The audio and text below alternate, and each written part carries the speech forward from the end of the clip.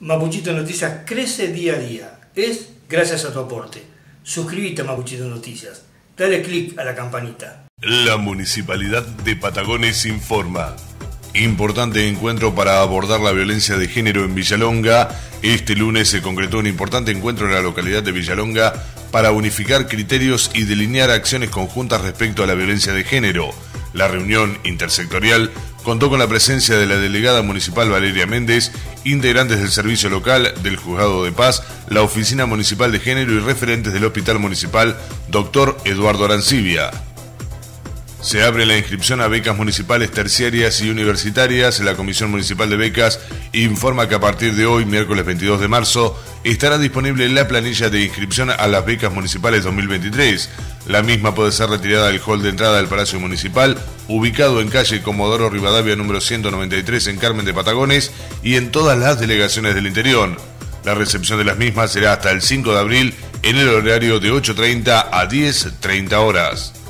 Patagones recibió equipo informático para el ordenamiento ambiental del territorio. La subsecretaria de Desarrollo Territorial, Eloís Gaidó, representó al distrito de Patagones en la entrega de equipamiento que realizó el Ministerio de Ambiente y Desarrollo Sostenible a través de la Secretaría de Política Ambiental en Recursos Naturales.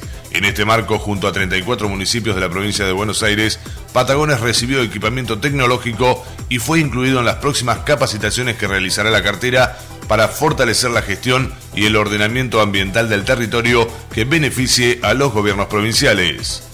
El intendente Sara participó de la conformación de la mesa de los mil días del programa Cunita. Este martes el intendente municipal José Luis Sara participó de la conformación y puesta en marcha de la mesa de los mil días y la primera jornada de trabajo de los organismos que la conforman, todo esto en el marco del programa Cunita Bonaerense en pos de los cuidados integrales de la salud durante el embarazo y la primera infancia. Cunita Bonaerense reforzando las redes de cuidado para un nacimiento con equidad.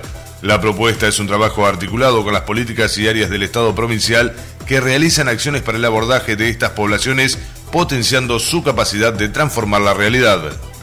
Gestión José Luis Sara Intendente.